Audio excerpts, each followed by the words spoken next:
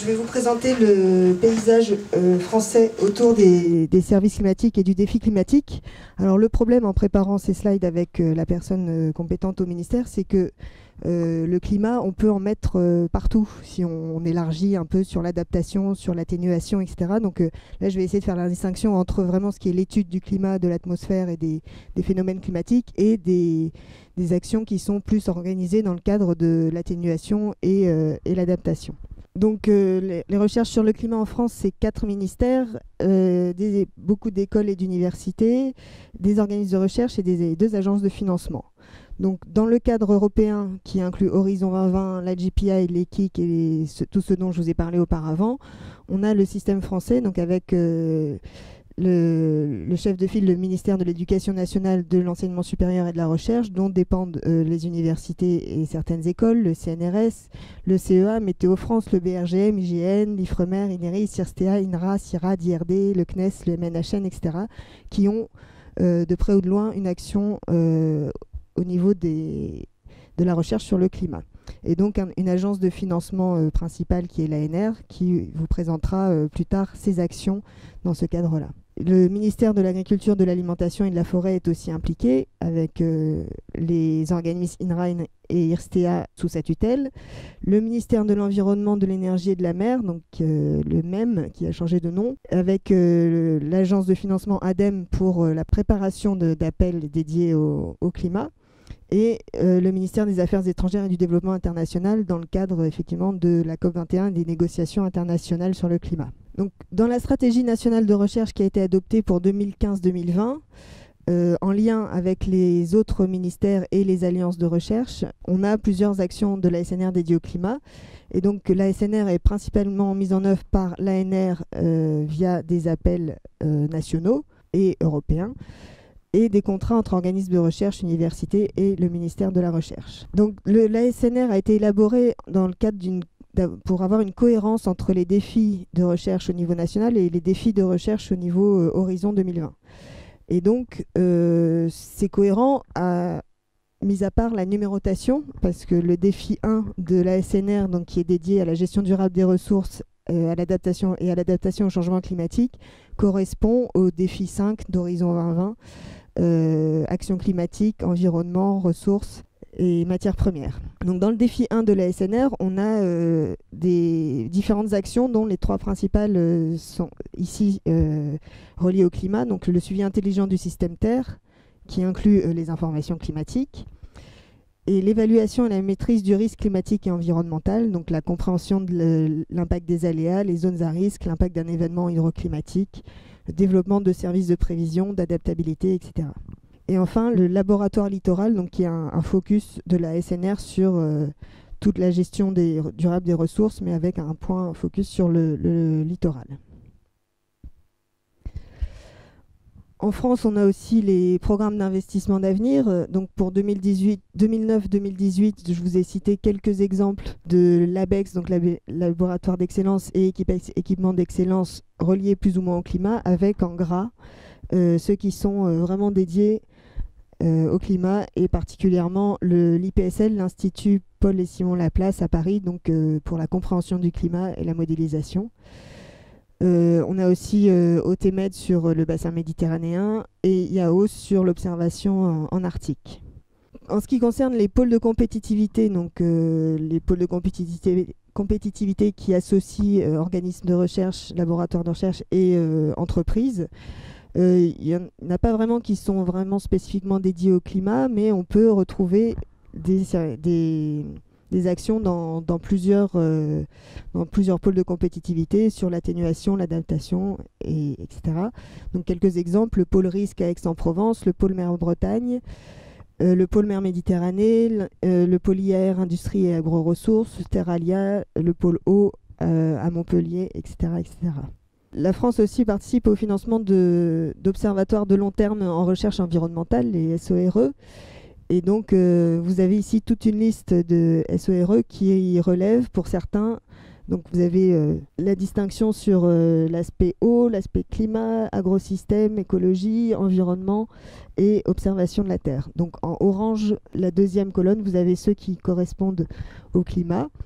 Donc carbone et gaz réactif qui est relié à l'infrastructure ICOS, Glacioclim sur le réseau d'observation des glaciers, Aurore sur l'observation en réseau des aérosols dans le cadre de l'infrastructure européenne actrice, et Rosea, le réseau d'observation de l'atmosphère, aussi dans le cadre d'Actrice. Et donc tous ces SORE sont reliés plus ou moins à des infrastructures de recherche dont la mise à jour euh, dont la feuille de route a été mise à jour euh, fin mars euh, au niveau national dans le cadre de la révision européenne de la feuille de route européenne ESFRI. Donc en parallèle de la, mise à jour de la feuille de route ESFRI, on a eu la publication de la feuille de route nationale.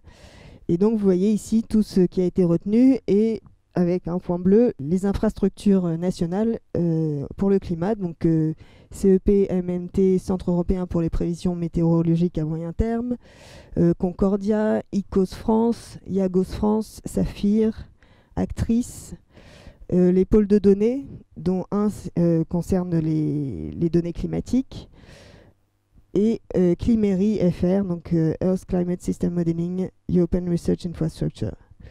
Donc si vous voulez plus de détails, je peux éventuellement vous en parler, mais je ne suis pas spécialiste de, cette question pour l'instant. Et donc vous pouvez retrouver euh, la feuille de route mise à jour sur le site du ministère. Enfin, la France soutient les actions européennes, donc, euh, notamment l'initiative de programmation conjointe sur le climat. Je vous ai rappelé ici les, thématiques abordées dans le Strategic Research and Innovation euh, Agenda. Et euh, la France assure donc la présidence du Governing Board, Patrick Monfray ici présent, et la coprésidence du Working Group 1 euh, sur Moving Towards Reliable Decadal Climate Predictions. Et c'est Sylvie Joussaume du CNRS qui est présente ici. Dans ce cadre, on a un financement français. Donc là, j'insiste que ce sont des financements en coûts marginaux. Si on faisait un rapport sur le coût total, ce serait beaucoup plus important notamment quand on compare les financements de plusieurs pays, la France, on paraît un peu euh, petit par rapport à d'autres, mais c'est vraiment le financement du coût marginal. Donc il faut bien euh, avoir ça à l'idée quand on compare les, montants associés euh, de chaque pays. Donc pour exemple, il y a eu un call avec le Belmont Forum, un appel avec le Belmont Forum qui a été lancé sur la prédictibilité décennale climatique, donc avec une participation de 1,8 million d'euros. Euh, la participation à IRA for CS, donc on, aura une présentation beaucoup plus détaillée, donc je vais passer vite, euh, à hauteur de 10 millions d'euros, donc 4 euh, millions d'euros en cash et 6 millions en in-kind. Et en prévision pour 2017, un ERANET sur les, la roadmap des services climatiques avec une prévision à, à consolider de 2 millions d'euros en cash euh, pour euh, l'appel qui sera ouvert en 2017 dans le cadre d'Horizon 2020. Et donc euh, cette GPI fonctionne aussi en lien avec d'autres initiatives de programmation conjointe. Donc la GPI FATCHE qui a pour objet l'agriculture et le changement climatique. la GPI Water, le changement climatique et la modélisation du cycle de l'eau. La GPI Océan, l'impact du changement climatique sur les océans, l'acidification, la montée du niveau de la mer, etc. La GPI Urban Europe, euh, les services climatiques, euh, l'aspect downscaling euh, au niveau régional, et enfin le lien avec les, initiatives du Belmont Forum et de Future Earth, donc dans le cadre de l'alignement des politiques entre la France, l'Europe et les actions internationales. Et donc j'en viens pour finir au soutien de la France aux, initiatives internationales dans le cadre du climat. Donc euh, le Belmont Forum, c'est dédié à, produire de la connaissance pour la compréhension, l'atténuation et l'adaptation au changement global. Donc exemple de financement français, donc il y a des calls spécifiques au Belmont Forum, par exemple le call Mountains as Sentinels of Climate Change, où la France a investi 1,5 million d'euros. Euh, les appels euh, Transformation to Sustainability dans le cadre de la GPN Urban Europe, donc 0,8 millions d'euros financés par euh, la France. Les e-infrastructures et le, la gestion de données, 2 millions d'euros. Et ERA4CS qui est aussi co-construit entre l'Union européenne et le Belmont Forum. La France participe aussi à Future Earth, donc là je ne suis pas spécialiste encore de la question. Si vous avez des questions, vous pourrez les poser à, Patrick qui pourra vous renseigner. Donc, euh, Future Earth, c'est la recherche pour la soutenabilité durable. Donc là, c'est vraiment sur tous les changements, euh, qu'ils soient sociétaux, climatiques, euh, environnementaux, etc. Et la France donc, participe au financement d'un des cinq Global Hubs au niveau mondial, donc, dont l'un est situé en France et, et, participe à hauteur de 0,8 millions d'euros par an pour le fonctionnement de, de, ce Global Hub. Et enfin, la France participe activement au financement des travaux du GIEC, notamment par le financement de la TSU, donc Technical Support Unit, du Working Group 1 du GIEC à hauteur de 1,5 million d'euros par an par euh, le ministère de la Recherche, de l'Environnement et des Affaires étrangères. Et donc, dans ce cadre-là, Valérie Masson-Delmotte est co-chair du Working Group 1 sur l'étude du climat et les bases scientifiques. Voilà pour euh, cette introduction au paysage français, européen, voire international euh, des actions du climat. J'espère que j'ai pas dit trop de bêtises. Corinne et Patrick seront là pour euh, me corriger si besoin.